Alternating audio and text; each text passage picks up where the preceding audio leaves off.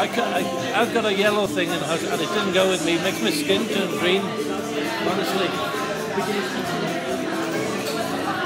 This thing that's coming up, oh, tell you what, it's Eudora's do. You know Eudora?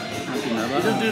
I do, yeah. But do, yeah. I didn't know about it. What Eudora as well? No, you don't do Oh, okay.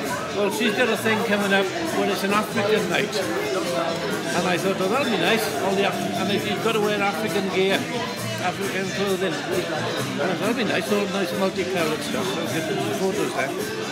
So I said I'll come and take a photo because I've got to wear something myself. So I've got a not a baseball cap, you know, one of these skull caps, you know, and um, bandana. And I was looking for a shirt to wear, and all the shirts are too small. All the stuff I was looking for his belly. And I went in the um, uh, Age Concern, Age UK shop, and there was a silk, uh, what do you call it, the triangular one, like the Mexicans wear multicoloured in silk, four pound. And it's an Italian made silk, obviously for women, you know. There's lovely big it.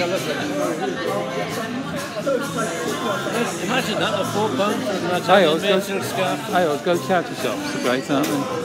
I don't, I got a suit in my wardrobe now. Last time I had a diet, I went shopping for a new set of clothes, and things are very expensive. Tried, tried the shop, and charity shop, and I got a suit that fitted me to the T twelve pound. Fantastic. All wool suit, handmade suit, waistcoat. Didn't fit me anymore, but brilliant. You know, twelve pound.